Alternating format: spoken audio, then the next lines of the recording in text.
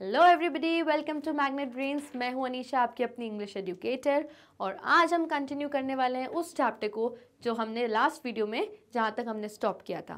पिछली वीडियो में हमने हमारा चैप्टर का एक्सप्लेनेशन और लेसन पूरा समझा था। और आज हम स्टार्ट करने वाले हैं इस चैप्टर की समरी हम पूरी डिटेल समरी पढ़ेंगे और सारे इंपॉर्टेंट क्वेश्चन एंड आंसर्स सारे कॉम्प्रिहेंशन क्वेश्चन सब इसमें हम कवर करेंगे। So let's begin summary In this chapter, the writer contrasts two forms of art, Chinese art and European art by using two different stories. तो इस chapter में हम दो तरीके के आर्ट फॉर्म्स के बारे में समझेंगे एक चाइनीज़ आर्ट और एक यूरोपियन आर्ट और दोनों हम किस कैसे समझेंगे? दोनों के बारे में कुछ स्टोरी पढ़ के। In China during the eighth century तो सबसे पहले चाइनीज़ आर्ट फॉर्म को समझेंगे और उससे रिलेटेड एक स्टोरी पढ़ेंगे। तो in in China, during the 8th century, the Tang Emperor Xuanzong commissioned a painter Wu Daozi to decorate a wall in the palace. तो चाइना में एट सेंचुरी में टैंग एम्पर थे। टैंग नाम के कोई राजा थे। उन्होंने वू डाउजी नाम के पेंटर को एक पेंटिंग कमीशन करी यानी कि ऑर्डर पे बनाने के लिए दी। और इसलिए दी ताकि वो अपनी पैलेस के जो वॉल्स हैं उनको डेकोरेट कर सकते अपने महल की दीवारों को सजा सकें। Upon seeing the wall painting the emperor started noticing the outer appearance of the painting.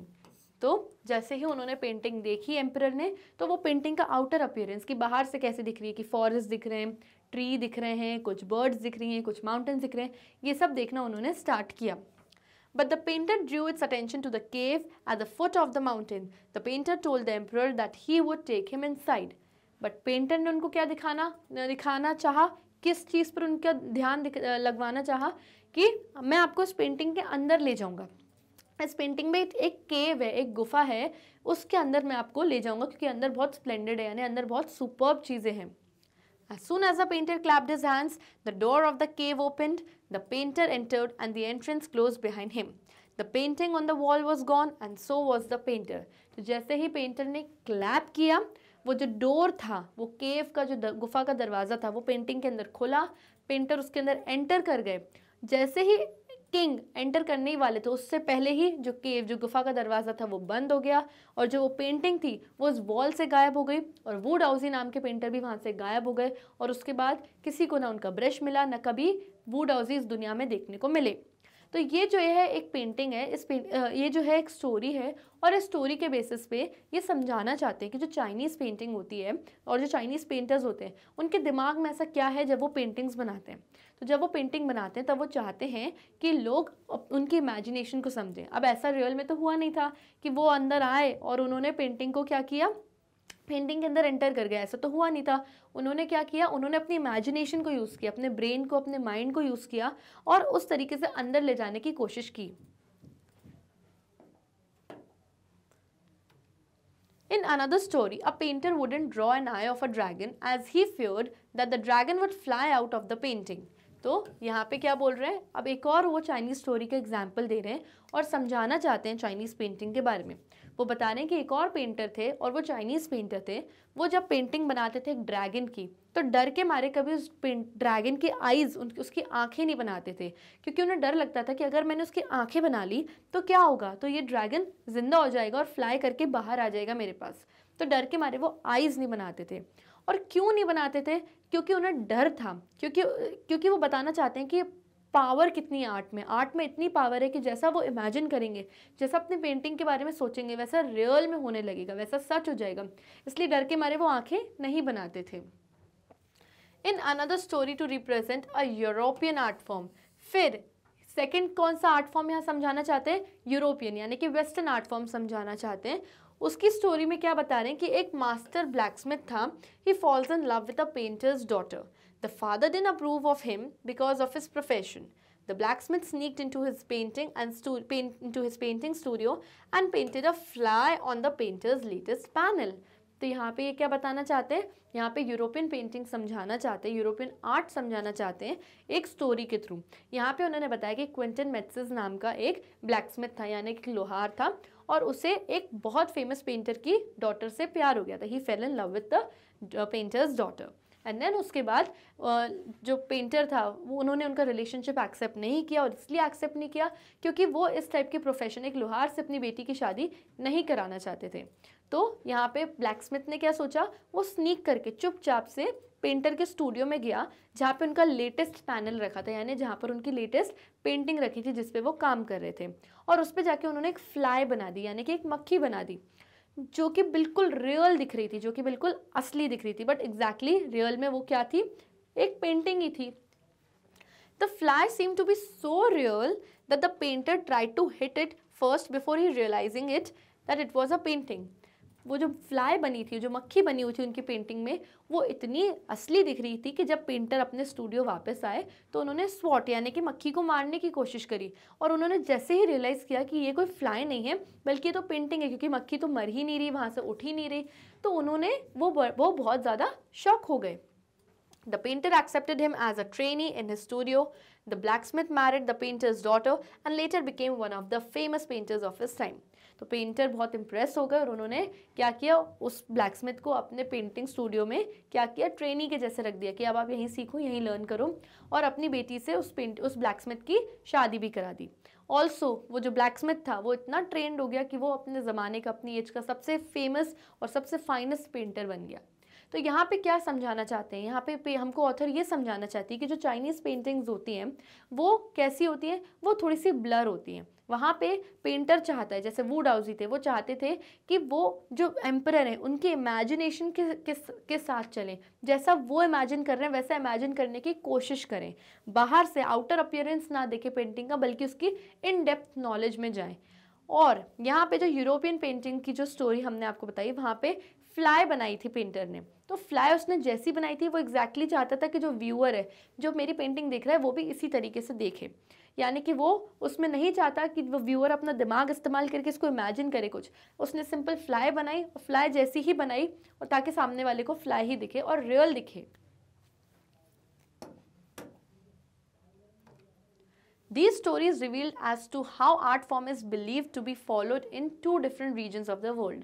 तो two different regions of the world में आर्ट का कैसे डिफरेंस हो रहा है चाइनीज़ एक different part of the world में यूरोप एक different part of the world में और दोनों की पेंटिंग्स में कितना ज़्यादा डिफरेंस है वो इन स्टोरीज से पता चलता है In Europe, an artist wants the viewer to see a real viewpoint by borrowing his eyes. The art must be perfect and must be illusion likeness.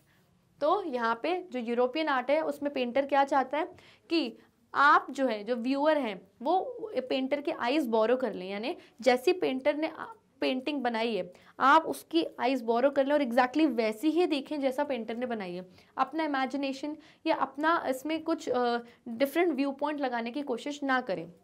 Also क्या बताने की कोशिश करिए कि जो वो पेंटिंग है, वो इल्यूजन लाइकनेस जैसी होनी चाहिए। यानी कि बनाई उसने क्या थी? फ्लाई और दिखी क्या उसको? रियल फ्लाई तो इल्यूजन लाइकनेस कि जो चीज़ होती नहीं है, लेकिन रियल जैसे दिखती है, जैसे मैजिशियन ट्रिक्स करता है तो क्या दिखता है हमको कि उसने कोई ट्रिक करी, कोई जादू किया? लेकिन उसने वो रियल में तो करा नहीं, पर हमें रियल में जैसा दिखा। तो एग्जैक्टली exactly पेंटिंग में भी वैसा ही, उसने फ्लाई बनाई, लेकिन इल्यूजन लाइकनेस होना चाहिए। उसमें रियलिज्म डेलिकेट रियलिज्म दिखना चाहिए, लेकिन वो रियल होता नहीं है। फिर वो बता रहे हैं कि चाइना में क्या होता है? चाइना पे चाइनीज़ पेंटिंग्स क्या बताती हैं? तो in China the artist doesn't paint a real one तो अब चाइनीज़ पेंटिंग में जो आर्टिस्ट होता है, वो एक रियल पेंटिंग को पेंट नहीं करता है। वो क्या करता है? Uses is inner voice to create their art वो अपनी इनर वॉइस यानी वो अपनी पूरी इमेजिनेशन अपनी सोल अपनी स्पिरिट को इन्वॉल्व करता है एक पेंटिंग बनाने के लिए। The viewer can enter the painting from any point and can travel according to his own imagination तो जो व्यूअर है, वो पेंटिंग के अंदर ट्रैवल कर सकता है। अब ट्रैवल करने का मतलब ये नहीं कि वो पेंटिंग में घुस जाएगा। जैसे स्टार्टिंग में उसने क्लैप किया था और वो अंदर गया था। यहाँ पे इसका मतलब ये है कि जो व्यूअर है, वो अपनी इमेजिनेशन से, अपनी सोच से पेंटिंग में घुसेगा और जो ब्लैंक स्पॉट्स हैं, जहाँ जहाँ ब्लैंक चीज़ें हैं, वहाँ पे इमेजिन करने लगेगा कि हाँ यहाँ पे एक माउंटेन है, यहाँ पे एक रिवर है, यहाँ पे कोई मैन खड़ा हुआ है, यहाँ पे बर्ड है। तो अपनी इमेजिनेशन से ट्रैवल करेगा वो उस पेंटिंग में। The artist wants the viewer to enter his mind and create a path of its own तो जो आर्टिस्ट है, जो चाइनीज़ पेंटर है, वो चाहता है कि जो व्यूअर है, वो उसके माइंड में घुसे, यानी उसके माइंड के हिसाब से सोचे, जैसा उसने पेंटिंग बनाई थी, वैसा इमेजिन करने की कोशिश करे। This concept is called shanshui और इसी कॉन्सेप्ट को हम शैनशुई भी कहते हैं, जिसका मतलब होता है mountain water when they are use together they make the word landscape तो ये जो कॉन्सेप्ट है शैंचू एक चाइनीज़ कॉन्सेप्ट है, जिसका मतलब होता है माउंटेन वाटर माउंटेन को हम कहते हैं यांग और वाटर को हम कहते हैं यिन और इन्हीं दोनों को मिलके क्या बनता है? इन्हीं दोनों को मिलके एक लैंडस्केप बनता है, यानी कि पूरी एक सीनरी बनती है। आई बात समझ में? सो आई होप ये सबसे बहुत छोटा चैप्टर था हमारी पूरी बुक का और आपको समझ में आया होगा और इसमें बहुत ज़्यादा आर्ट आर्टिस्टिक इंसाइट्स के बारे में बताया गया होगा और आपको एक अच्छी नॉलेज मिली होगी। So children let's begin with the important question and answers of the chapter first question contrast the Chinese view of art with the European view with examples तो आपको चाइनीज़ व्यू ऑफ़ आर्ट को European view of art को सम, आ, से compare करना है और समझाना है और साथ में कुछ एग्जाम्पल्स देने हैं।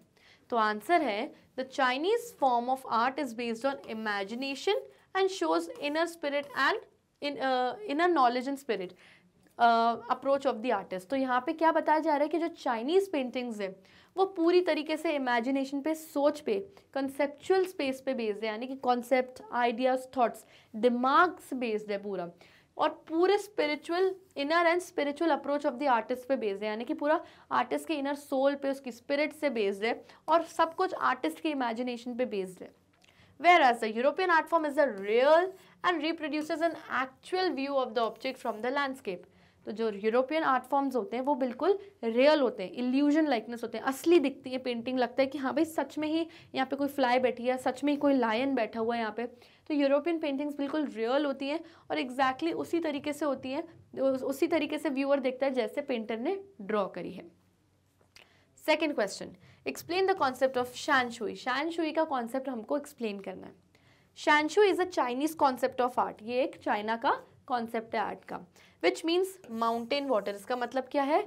Mountain water it is use together to represent the word landscape तो शांचुई का मतलब होता है माउंटेन वाटर और इसको साथ में यूज़ किया जाता है ये बताने के लिए कि इसका मीनिंग होता है लैंडस्केप यानी जब भी आप लैंडस्केप ड्रॉ करेंगे, जब भी एक लैंडस्केप सीनरी ड्रॉ करेंगे तो इसमें माउंटेन्स वाटर वैलीज रिवर्स ये सब होना ज़रूरी है, तभी वो एक लैंडस्केप कहलाएगा.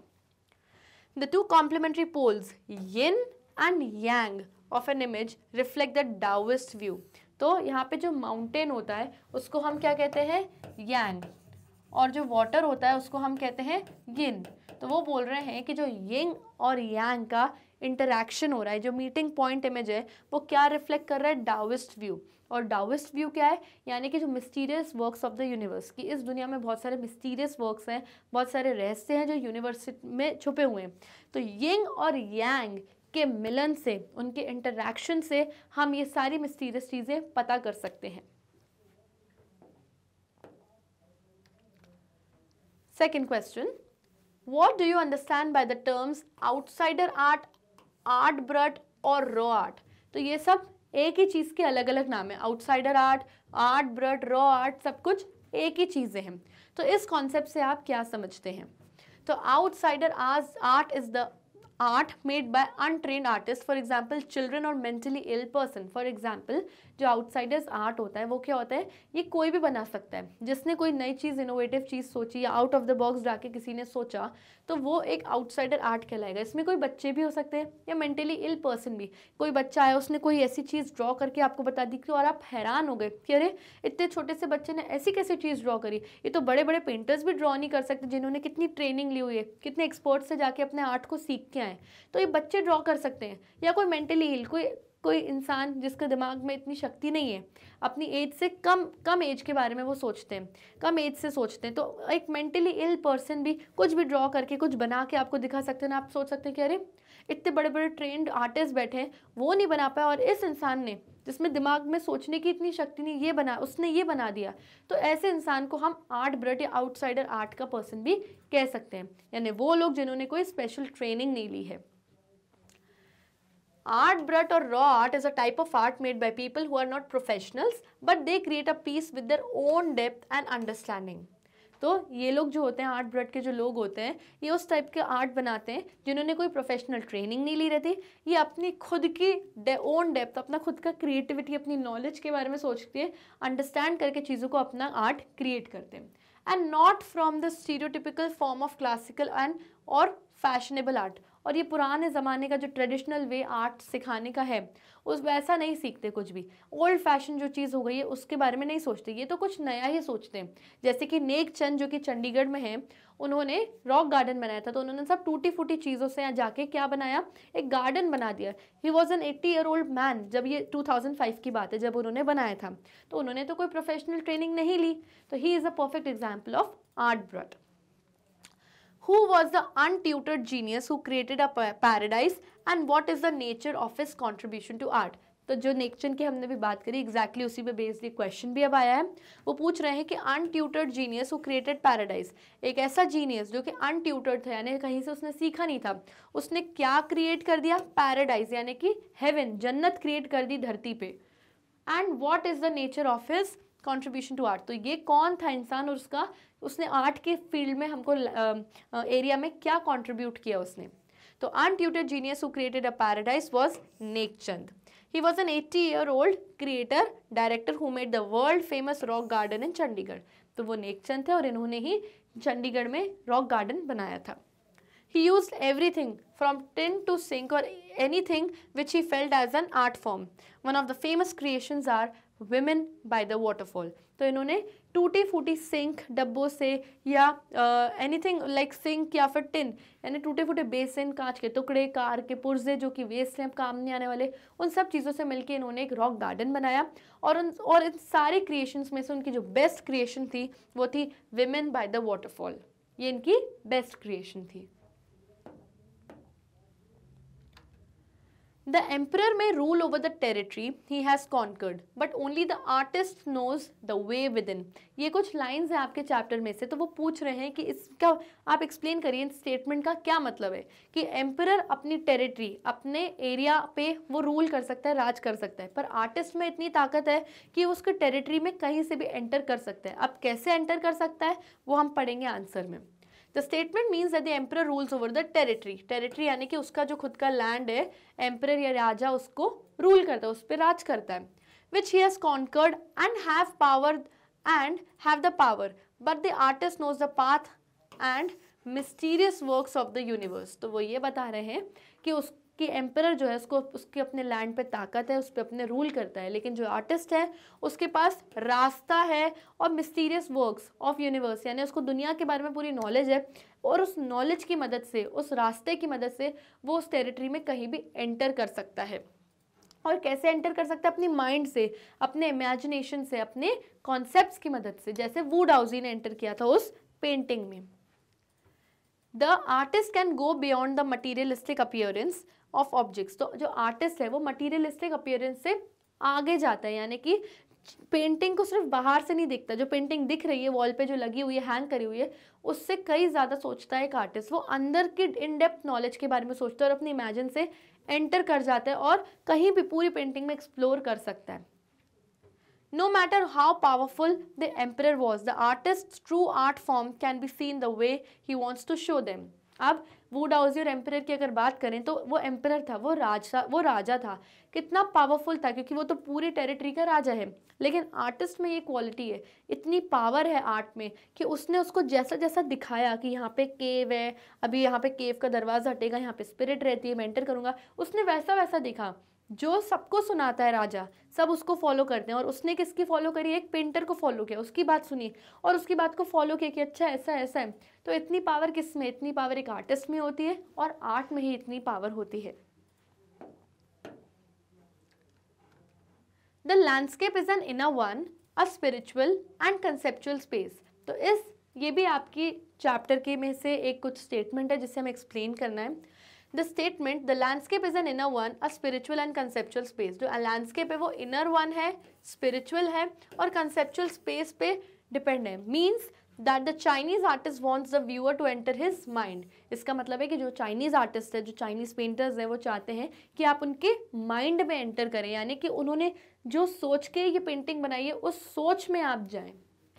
Rather than borrowing his eyes to view his art piece तो वो नहीं चाहता कि आप उसकी आइज़ बोरो करो, यानी जिस नज़र से उसने देखा है अपनी पेंटिंग को एग्जैक्टली exactly वैसा ही आप देखो, वो नहीं चाहता। उसने जिस सोच से अपनी पेंटिंग को बनाया है, जिस इमेजिनेशन से अपनी पेंटिंग को बनाया है, आप उसके माइंड में घुस के वो इमेजिनेशन को फील करो। This requires both physical and mental participation और इसके लिए फ़िज़िकल पार्टिसिपेशन और मेंटल पार्टिसिपेशन चाहिए। यानी कि आपको सामने खड़ा होना पड़ेगा पेंटिंग साथ में लेके, और अपने पूरे माइंड को मेंटली अपने माइंड को यूज़ करना पड़ेगा मेंटली प्रेजेंट रहने के लिए viewer can enter the painting from any point and travel from one point to another point. As it is not a real one, it is an inner spiritual inner and spiritual space of the artist. तो जो viewer है, वो उस painting में कहीं से भी enter कर सकता है। यानी कि फिजिकली उसमें एंटर नहीं करेगा।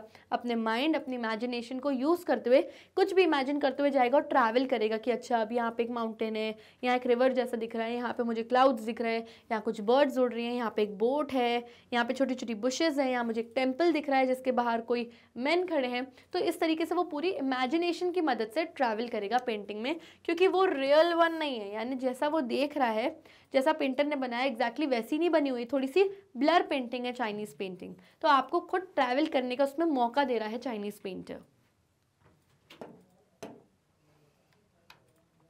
so children with this we come to an end of this chapter जिसमें हमने समरी कवर किया और हमने सारे important comprehension question and answers cover किए। और आगे के और सारे चैप्टर्स और और सारी पोम्स के एक्सप्लेनेशन और summaries detailed explanation of the chapters के लिए बने रहिए आप मैग्नेट ब्रेन्स पे, जहाँ पे एजुकेशन मिलता है फ्री ऑफ़ कॉस्ट आपको कोई पेमेंट करने की ज़रूरत नहीं है, आपको कोई पैसा देने की ज़रूरत नहीं है, यहाँ पे एजुकेशन मिलता है बिल्कुल मुफ़्त मुफ़्त मुफ़्त और क्वालिटी एजुकेशन आप तक, आपके घर तक बिल्कुल पहुँचेगा। Till then stay safe and bye